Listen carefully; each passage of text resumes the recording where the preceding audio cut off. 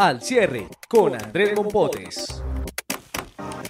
Hola, bienvenidos a un nuevo episodio del podcast Al cierre del tiempo Casa Editorial en el que discutimos los temas y enfoques de las noticias del día. Hoy, jueves 23 de mayo, mi nombre es Carlos Solano y los temas de los que hablaremos en este episodio son la tensión entre Timochenko e Iván Márquez, que puede ser una tensión profunda para la FARC. Además, una influencer genera conmoción por unas fotos desnuda que se tomó en el páramo de Santurbán. En la cifra, el cambio de calificación negativo a estable de la calificadora Moody's que contrasta con otra calificadora. Y en lo que viene, anuncios de Rock al Parque en Bogotá este mes de junio. Bienvenidos. La clave de las noticias. A esta hora, en medio de la sala de reacción, el tema clave gira en torno al proceso de paz, a toda la tensión que se ha generado alrededor del tema Santrich y sin duda en los últimos episodios o momentos de este caso se extiende la crisis entre los eh, dos excomandantes de las otroras FARC, Timochenko y Iván Márquez. Es una tensión que se ha recrudecido, que ha tenido ya manifestaciones públicas de Timochenko, las respuestas de Márquez pendientes. Y sobre todo hay mucha tensión sobre qué va a pasar en lo general, que es en el proceso de paz y, en todo este post-acuerdo. Se encuentra con nosotros Marisol Gómez, a quien, eh, editora de Justicia, a quien hay que decir no la hemos dejado salir en toda la semana de este estudio. Sí, es una, una semana intensa. Una semana intensa en torno a este tema, para que nos cuente un poquito hasta dónde puede llegar el alcance de esta división al interior de la FARC.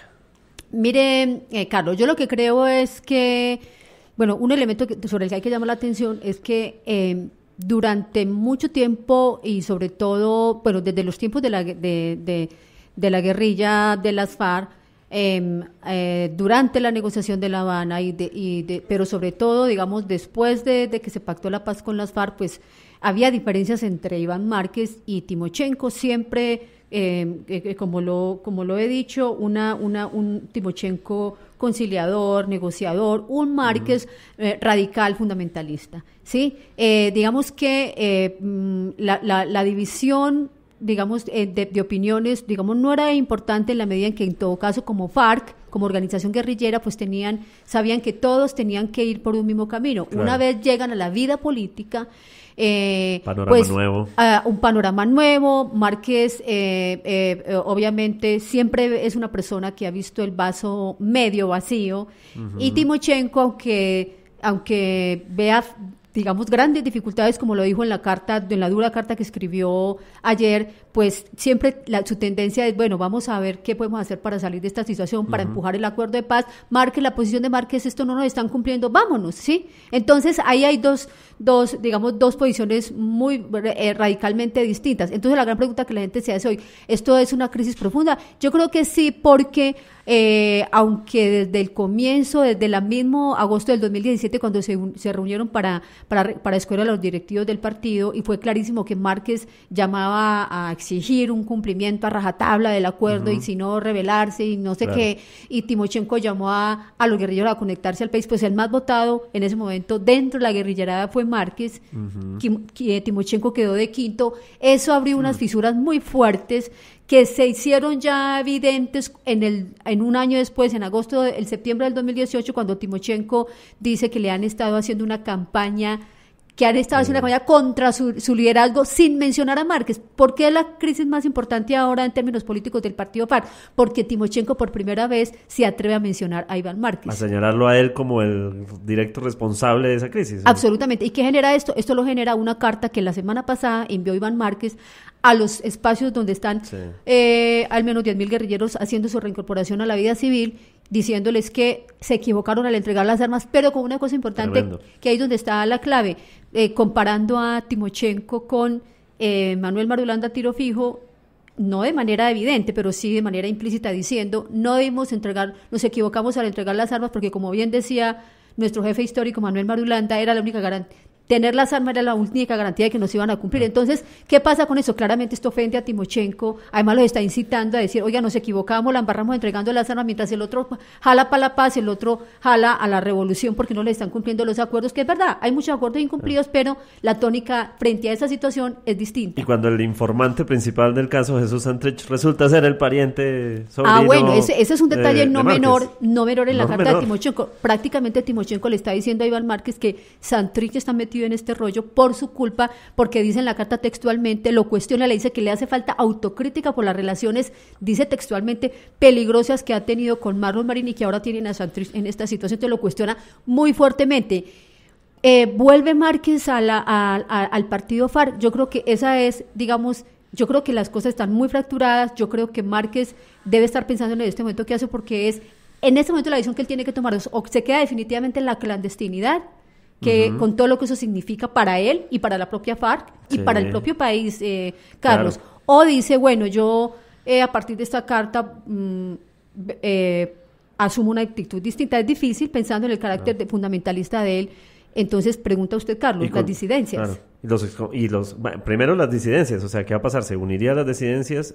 Es un posible panorama. no, yo no creo, yo no creo realmente porque las disidencias de las FARC, las que se quedaron desde el comienzo por fuera, eh, como, como Gentil Duarte, bueno, como otros, son gente eh, relacionada, es, digamos, es gente más, más afín a la, criminalidad, es decir, el narcotráfico, la extorsión. están defendiendo esos carriles de. Sí, Márquez puede ser un fundamentalista, pero un fundamentalista que tiene un, un con, que, tiene, digamos, como una personalidad eh, muy política. Él es sobre todo un político. Sí, Iván Márquez eh, es sobre todo un político. Las otras disidencias están mucho más eh, relacionadas y se van a las disidencias es por, por, porque por el narcotráfico, por un asunto meramente criminal. Márquez no, Márquez podría ser una disidencia, pero política, bueno, y yo no descartaría una disidencia con una relación eso sí, muy peligrosa para Colombia con Maduro, por ejemplo. Y los excombatientes en los pendientes de este rifirrafe ahí, de esta tensión.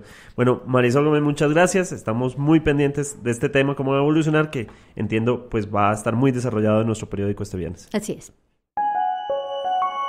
Lo más leído en eltiempo.com. Y en lo más leído a esta hora en eltiempo.com es una historia que se destaca en medio de las tensiones eh, de las que hablábamos ya políticas y del proceso de paz. Es una historia singular que representa no solo un escándalo por una mujer que se desnudó en el páramo de Santurbán, pues, publicó unas fotos en redes sociales y ahora eh, la policía pues pretende multarla, ponerle un comparendo, sino que va más allá, vuelve a ser tema del Código Nacional de Policía, ¿no?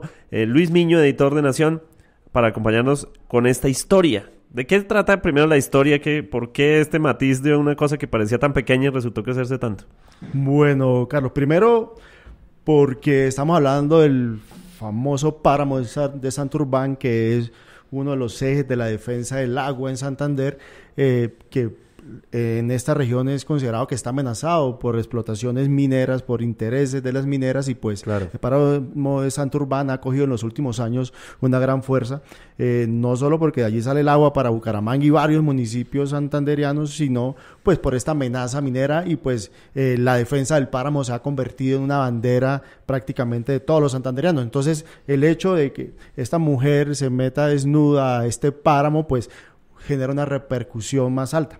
Ya lo que viene después, pues es un poco lo que usted explica, que a raíz de que ella publicó unas fotos en las que eh, en su Instagram, en su cuenta de Instagram, en la que ella mencionaba que en defensa del páramo entraba desnuda a la laguna. Una historia pues ambiental, una defensa del agua. Exacto, algo relacionado con eso pues generó eh, molestia, pues porque eh, ella entra desnuda pues a un, a un sitio, digámoslo así, protegido y eh, eh, ha generado, generó pues diferentes reacciones y pues bueno, la policía lo que el anuncio de ponerle un comparendo por 441.613 pesos, pues llama la atención de la gente.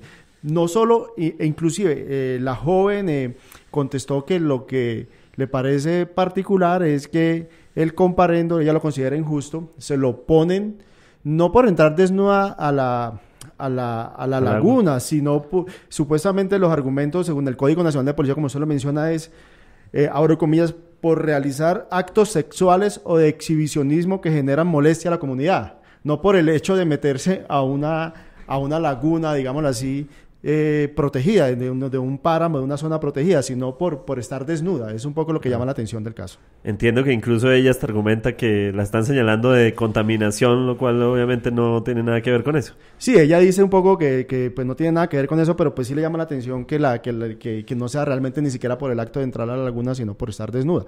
Eh, lo que también tenemos que explicar es que eh, la joven sí tiene varias fotos de desnudos en diferentes, En diferentes sitios, lugares. en diferentes lugares y es una práctica que ella realiza en sus en sus redes en sus redes sociales que ella sube sus fotos cuando llega a un sitio de estos. Pero bueno, eh, por ahora la multa es- ah bueno ella también considera eh, bueno anotar que ese es un desnudo artístico. Dice que ella que es un desnudo artístico que no quiso pues digámoslo así que no es ningún acto de exhibicionismo de ella y eh, y pues lo que sigue vigente pues es la multa y pues en- vamos a esperar a ver si ya cumple con la sanción. Una pregunta, Luis. eh, un lugar en donde la gente pudiera desnudarse, como por- ejemplo una playa nudista, como se conocen muchas, no aquí en Colombia, pero sí en otros lugares del mundo, tiene que estar, me imagino, identificada o decir aquí se podría, o cómo funciona eso. Pues sí, hay varios, hay varios argumentos, eh, tanto que plantean eso como en contra. Por ejemplo, si es una playa nudista, lo que por lo general eh, eh, se espera o lo que existe en las playas nudistas es que exista una señalización de que es una playa nudista. Lo que dice la joven es que tampoco había un- una que señalización de que no se podía entrar desnudo eh, a este sitio, eh, donde realmente no vive nadie, por- porque realmente es un páramo, es un páramo protegido y eh, realmente no hay casas vecinas, realmente prácticamente es un sitio donde el- al- eh, se permite llegar caminando hasta, hasta la orilla de la laguna para observar su paisaje, pero realmente No hay y, y no hay ningún clase de turismo masivo. Entonces, de pronto, pues, eh, este es el primer caso que se presenta de este tipo en la laguna, además porque es una laguna con un agua muy fría que a nadie, pues, eh, por lo general se... O sea, también pasa un le- problema de salud. Se le Eh, pasaría por la cabeza meterse Sí. un chapuzón por más sano que sea a esas temperaturas. Eh, sería tan normal como pues... Pero bueno, ahí está el debate de- de- del, del tema y pues bueno, ha llamado mucho la atención de nuestros lectores, tanto así que es una de las notas más leídas en el día de hoy. Pues toda esta historia se encuentra ah, hoy en el tiempo.com, la pueden consultar, es la historia más leída y pues genera todo un debate en torno a quienes la defienden, quienes defienden a la policía por esta decisión. Seguramente el comparendo ahí la estará esperando, ¿no? Claro que sí, y bueno, y, y, mire, y miraremos qué otras repercusiones tiene esto. Lo importante es que ya hay más conciencia en el fondo del, del páramo de Santurbán, de que hay que es protegerlo y que a veces algunos chistes de algunas personas también pueden ser molestos para otras y hay que, hay que tener cuidado con este tipo de acciones, Claro. eh, sobre todo en estos lugares, porque ya habíamos tenido eh, eh, casos de... de problemas en el Nevado del Cocuy, de donde hay nieve, eh, con, con- también con turistas y que por tomarse una foto hacen ciertas o jugar fútbol en estos sitios, por ejemplo, que también hubo una polémica en meses pasados y este tipo de hechos, pues por una foto, por ganar seguidores, pues hay que, hay, hay que tener mucho cuidado con ciertos sitios. Cierto tacto, ¿no? Con- Sí, claro, con temas muy sensibles, eh, sobre todo que el páramo está en medio de toda una lucha de mucha gente por preservarlo. Por supuesto, Luis Miño de la sección AC. Muchas gracias. La cifra del día.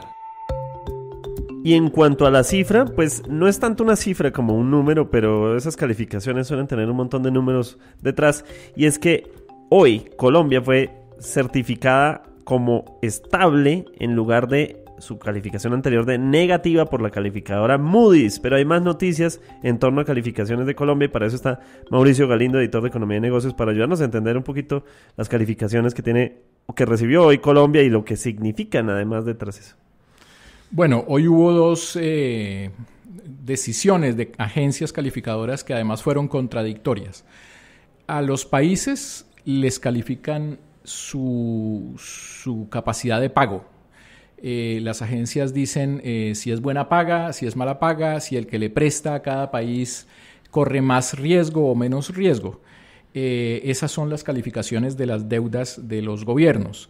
Las calificaciones además tienen una perspectiva. La perspectiva es negativa, positiva o estable. Quiere decir que en el futuro puede mejorar, puede quedar igual o puede empeorar la calificación. Lo que pasó hoy es que la agencia Moody's le mejoró la perspectiva de la calificación a la deuda colombiana y la agencia Fitch hizo lo contrario, desmejoró esa perspectiva. En el caso de Moody's, la perspectiva era negativa y la mejoró a estable. Y Fitch tenía la perspectiva estable y la desmejoró a negativa. Quiere decir que los eh, que le prestan a los países, que los que le prestan plata comprando bonos de Colombia, mañana estarán muy confundidos porque dos agencias que son muy... Eh, son dos de las tres principales eh, agencias calificadoras están diciendo lo contrario con base en la misma información que tienen disponible sobre lo que está haciendo Colombia con sus finanzas. Insólito, claro. Nos prestan hoy, pero no mañana. Sí, una, una, calificadora está diciendo eh, que está viendo unas cosas buenas y la otra está viendo eh, lo mismo, los mismos datos eh, y los está interpretando de manera mala. De acuerdo. es importante aclararle a la audiencia de dónde salen o qué es eso bueno o malo que ven, porque si fuera en cuanto a noticias uno no sabría con toda esta locura de noticias que vemos a diario. Lo, que ellos, lo que ellos revisan es eh, la capacidad que tiene cada país de responder por sus deudas. Eh, uno cómo responde por la deuda. Eh, si tiene ingresos. entonces, ellos miran cómo están los ingresos de Colombia, que en el caso pues, de, los, de los gobiernos son principalmente los impuestos que, cobran, eh, miran eso y miran si hacia el futuro eh, esos eh, ingresos por impuestos van a crecer o se van a mantener o incluso pueden disminuir, mientras que los pagos que tenga que hacer en el futuro, cómo se comportan, comparan esas dos cosas. En el caso de, de una de las agencias, que es Fitch, eh, ellos dicen que ven que el año entrante los ingresos por impuestos pueden disminuir, mientras que los gastos eh, son muy rígidos y no, no van a disminuir. En cambio, Moody's dice que efectivamente esos ingresos, gracias a la reforma tributaria eh, que rebaja especialmente a las empresas las tarifas, el año entrante van a disminuir, pero que hay unos esfuerzos contra la evasión y hay unos esfuerzos de ajuste de los gastos que, eh, en los que ellos confían que permitirían que la deuda pueda ser pagada de manera fácil. O sea, la clave del recaudo, eh, la clave de la calificación está en el recaudo. En el recaudo, en los impuestos y en el gasto también. Es decir, que el gobierno haga esfuerzos para gastar menos. De acuerdo. Mauricio Galindo, muchísimas gracias. Bueno, muchas gracias. Lo que viene para su información. Y en lo que viene, si bien todavía quedan varias semanas, de todos modos es interesante el anuncio que hubo esta semana de Rock al Parque, el Festival Rock al Parque que se celebra en Bogotá de carácter gratuito, que tiene una sorpresa, ¿no? Sofía Gómez, su editora de cultura. Hola, eh, Carlos y a todos los que nos escuchan. Pues muy emocionante porque por primera vez en su historia y para celebrar eh, la edición 25, que es muy importante, pues han decidido que no van a tener un artista de cierre, sino que van a montar un espectáculo con la Filarmónica de Bogotá para el cierre de Rock al Parque. de acuerdo, recuerda uno de esos momentos cuando hicieron ese especial con, eh, con Elkin Ramírez, el cantante Kraken y el Kraken Filarmónico. Pero bueno, entonces esto va a ser, me imagino, un recorrido por repertorio de bandas nacionales o quién sabe. Sí, exacto. Han escogido 40 temas que se volvieron icónicos o que han sido muy importantes durante todas las ediciones de Rock al Parque y las van a interpretar. No dieron más detalles de qué va a haber en el show. Seguramente que van a ver, va a haber muchas más cosas. No solamente va a ser la filarmónica, seguramente vamos a tener alguna otra cosa que se irá revelando más adelante. Eso se va a poner interesante porque entonces será la filarmónica interpretando a los compadres recerdos, a la pestilencia. No, eso va a ser va a estar divertido. Divertido, seguramente. Y muy emocionante, ¿no? También. La, onda más punk va a estar bien interesante. Bueno, eh, ¿cuándo es Rock al Parque? Rock al Parque hay que prepararse eh, fin de semana del 29 y 30 de junio y primero de julio en el Simón Bolívar. En el Parque Simón Bolívar, como es acostumbrado. Entonces, estamos pendientes. La noticia se encuentra completa en el tiempo.com. Es así como llegamos al final de este episodio del podcast al cierre que ustedes pueden encontrar siempre de lunes a viernes con las principales noticias del día a través de www.eltiempo.com así como en plataformas digitales Deezer, Spotify, iTunes, YouTube y Spreaker entre otras. Muchas gracias.